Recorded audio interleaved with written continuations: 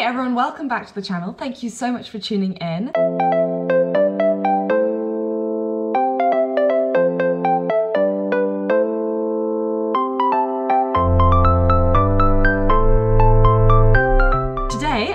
Probably tell, I'm in a different place. I am in the Peak District. Yesterday, I was at the National Running Show in Birmingham, and then we continued driving north, um, and now I'm in the Peak District to go on a nice little run. By little, I mean 20k, and by nice, I mean freezing cold. It is currently minus three outside, which for us Brits is pretty chilly, and there's snow on the ground. Look.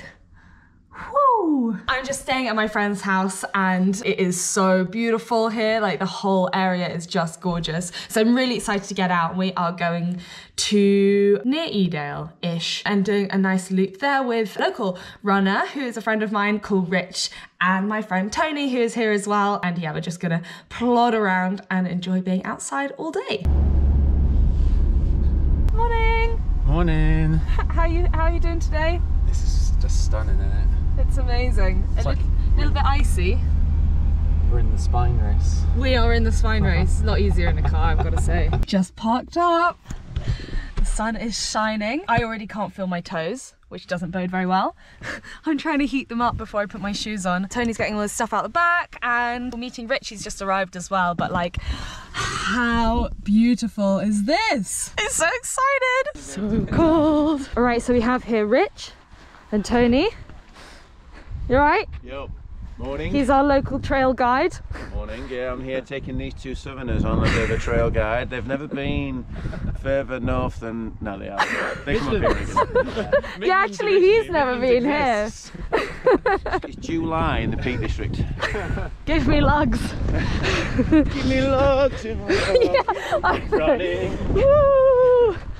Up we go! We've just set off. It is freezing cold from a winter spine race conditions.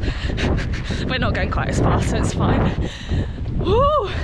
Up, yeah, our path is down there, and uh, it's just a river of ice. So we've taken the grassy route.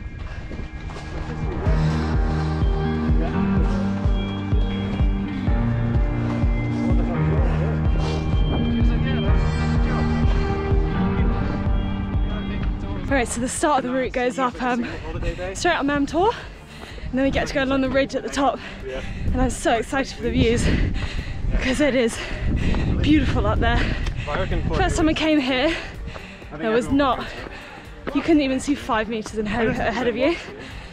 And now it's a beautiful clear day, so yeah, I'll show you. So what's that bit called? It's Mam Nick. Mamnik Road. Beautiful. And what's that one? That's Lord Seat. Lord Sea. Nice. Kinder Scout over there. Oh, okay. And we've got E- Edale down here. Yeah, so I ran through Edale in the um, Ultra Yeah. X50. Correct, yeah. Nice. Look at that. Woo! Well worth the four hour drive. So beautiful. Can't feel my toes though. Literally can't feel my toes. I'm probably gonna fall over. Whoa. Gorgeous. Watch me stack it down the hill.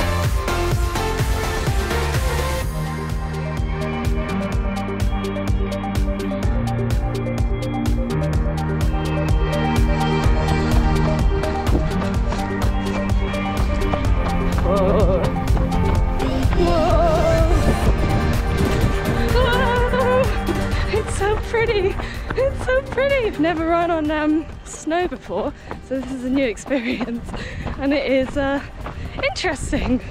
So I was just saying my uh, my trail shoes are made for alpine trails, and this is a little bit like alpine trails, except my trail shoes are for like summer trails, and this is like winter trails. So I'm just slippy sliding everywhere. I'm just taking tiny little steps and hoping not to fall over. I feel like a complete amateur, like like Bambi on ice, minus the long legs, sadly. Woo!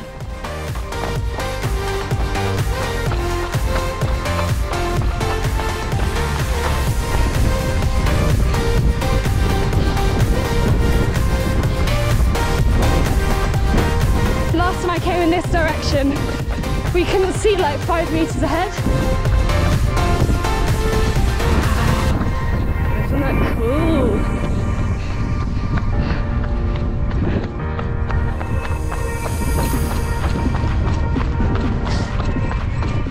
Tony the mountain goat made it up there in no time at all. I'm gonna see if I can find the photo of me up here the first time I came. It's just fog, flora, fog. And that's all you can see. Not these gorgeous views. The UK has a lot to offer. if uh, any of you have not been to the peaks or the Lake District or the Southwest Coast Path or the Trossachs or the Cairngorms or the Scottish Highlands or the Brecon Beacons or Snowdonia, you're like get your ass there now. It's amazing. Ah, yeah, it's incredible. I will never get bored of this. That's where we came from up there. Shoo, straight up this hill. And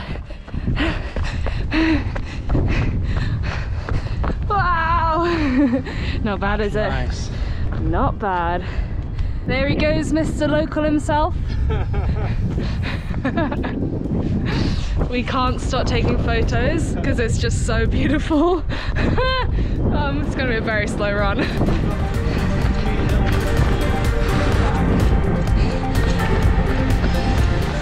So what's that one there? Win Hill. Oh wow.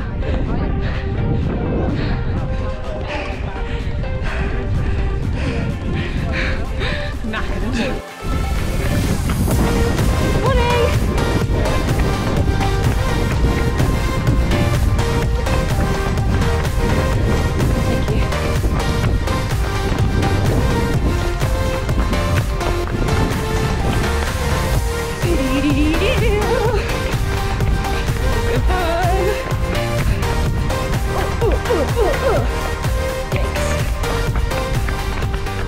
You feeling Tony? yeah. Having a good time? Are you feeling about your big race next week? So in what, four, five days, I do the Arc of Attrition, which is uh, 100 miles on the coast path. 100 miles. Not bad. Scared's probably the operative word, You'll be great. but training's been good and it's been going to be fun. So Yeah. Yeah, you'll be amazing. Can everyone please wish Tony good luck? um, Here. I do have a fundraising page raising money for Ultra Distance Scholarship, um, which Flora might be kind enough to share. Um, I will, don't doing worry. amazing work. They're getting uh, non-UK uh, majorities, so less uh, white men, into ultra distance cycling events. And if you can't see it, you can't be it. So like Black Trail Runners are doing in running, ultra distance cycling, ultra distance scholarship are doing in the ultra distance cycling world. So great Amazing. cause. Amazing. Such a good cause. I'll be linking that down below so you guys can donate if you feel generous. And uh, yeah, Tony's going to do a great job, so everyone can wish him luck.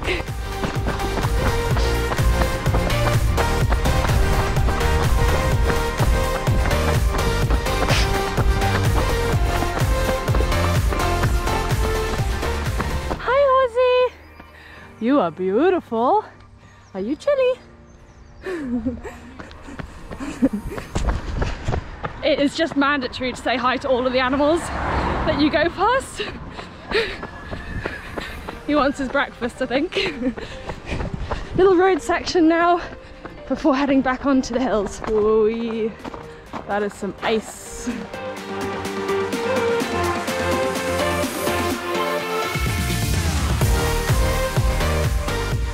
Look how tiny the gate is. I literally only just fit sideways. Christ. That's mad. Who are these built for? Definitely the sheep couldn't fit through there. So, you know. Tony's so fit that he's running sideways. mad. Tony's testing out the new uh, uh, underwear base layer. It's got gloves in it. Super cool. And I could wear my mittens over the top. Yeah. Some stick out. Such a great idea. I love their gear. Super nice. Gorgeous. Ooh.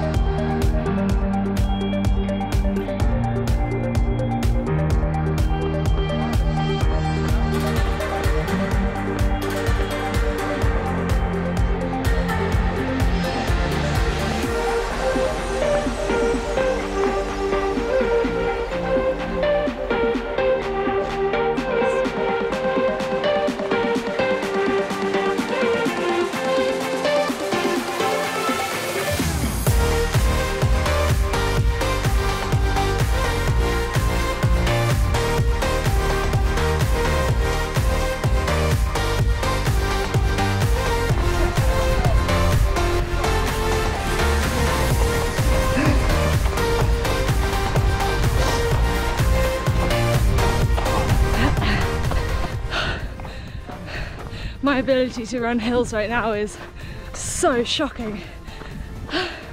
It's crazy, these two up ahead just gallivanting off. And I've done that stupid thing where every time I see a long run on the plan I'm like make it flat. Because it just says 30k it doesn't say 30k with 500 plus meters of elevation. It just says 30k so I'm like all right I'll do 30k and it's flat. Then I get around to doing something like this which is not even as hilly as the lakes and uh, my body is like what is going on? So it's a good reminder to get back out on some hilly trails and uh, just do it. Like it doesn't really matter if it's slow but if I get around to race day and can't run any hills I'm screwed. So we are just coming up the uh, beginning and end of the well the my first ever ultra which was ultra x uh, 50 ultra x um, england. And it's a 75 kilometer run followed by a 50 kilometer run. And you can either choose to do both or you can just choose to do one. And obviously with it being my first I only did the 50 um, and it's absolutely beautiful. And uh, yeah it goes around Mam Tor and then comes back along that bridge there and then up this uh, flat quote unquote road. It's nice in this direction, in the other direction after running 49 kilometres it definitely hurts. Um, but yeah, such a beautiful route and it's good to be back and running it at more of a leisurely pace and not doing 50k today. Um, but yeah, if any of you are looking for a good first ultra, it's amazingly marked, everyone's super friendly, they've got great aid stations uh, and it's just beautiful. So we thoroughly recommend. Dog! Hey! Hey puppy!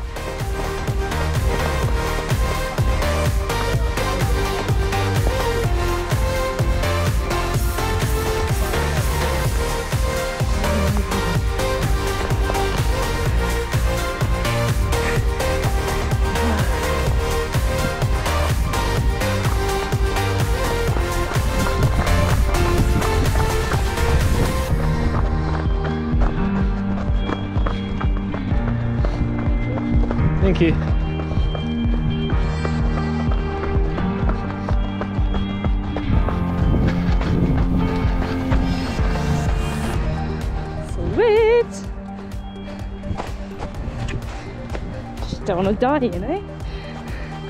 Wow! Bloody hell.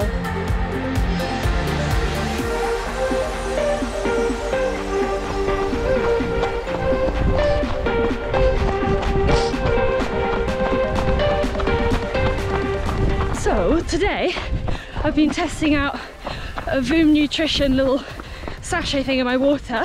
That's a bit like, feels a bit like Tailwind. Um, it's got what? How many grams of carbs? 60 grams of carbs? 90? 90 grams of carbs, 90 grams of carbs um, in it and electrolytes and vitamins and stuff. And I've got to say, I'm impressed. Like, we've been out for over two hours and anyone who watched my last week's vlog will know how hungry I get usually on a run. And I've just been working my way through 500 mil of water with this nutrition stuff in and I've not been hungry once at all, um, which is kind of unheard of.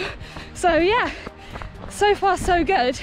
I think the point is that you have one of these every hour. So I've had it like half, I've had half of what I should be having really. Um, but I kind of wanted to just test it out and see if it agreed with my body, which it does. And the more carbs you take in on the run, the quicker your recovery afterwards.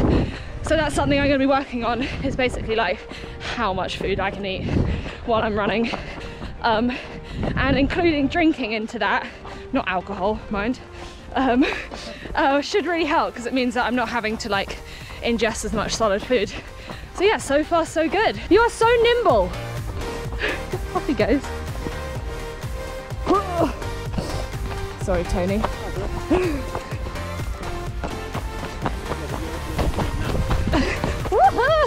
So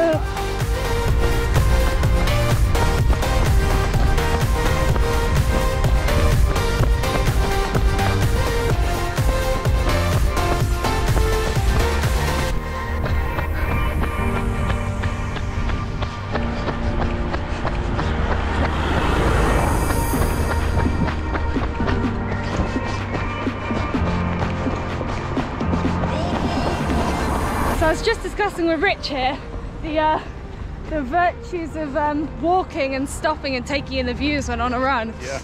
I mean, it's half the fun, isn't it? Absolutely. Uh, what it's about. Exactly. When you've got views like this, like, why would you not? We've been out for how long? Two hours 20, right? And we've done 17 and a bit K. And uh, you might look at that on a map and be like, oh, it's a bit slow. And then you look at the views and you're like, oh no, actually that's pretty fast. Because we could have stopped for an hour at each of those places being like, just gonna get some really cool pics here. Um, but yeah, that's what it's about. As Rich was saying, like we only spend 0.1 of a percent of our time racing and the rest of the time we're running because it's fun and beautiful. Um, yeah, we don't do it for speed, that's for sure.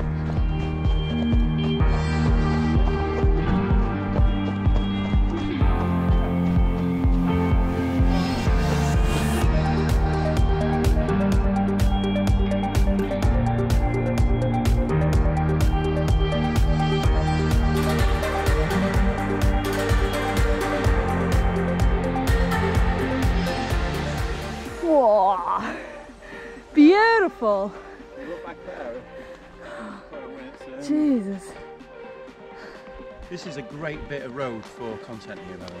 Yeah. You know, run up here if you want. You know so what I mean? Where are we? Oh, hello. um, so we are in uh, the Peak District, Castleton, just below Mam Tor, uh, Yeah. on the Broken Road. We're coming to the end of our 18 and a half K run. We've done a nice loop starting at the base of Mam Tor, going across the Great Ridge here, uh, back to Lose Hill, down into Hope over there, through the valley, up through Cavedale, and then across the tops and back down here through Winnats Pass. Beautiful. You're a very good tour guide. It's been my pleasure. Thank you so much.